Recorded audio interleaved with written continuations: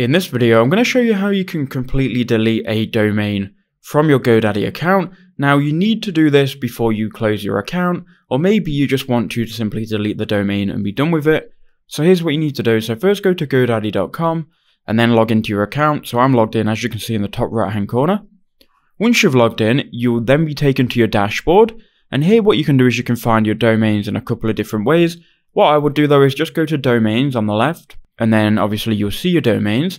You can then go to domain settings on the domain that you want to delete. That will load these settings. Now, from here, you want to scroll all the way to the bottom and you can delete it. Now, before you do that, you might want to turn auto renew off just to be sure. But this step is optional. If you delete it, it won't auto renew anyway. So go to the bottom of this page and here you can see advanced. Here you can go to delete domain and then all you have to do here is consent and it will simply delete this domain from your GoDaddy account. You won't get a refund, but the domain will be deleted.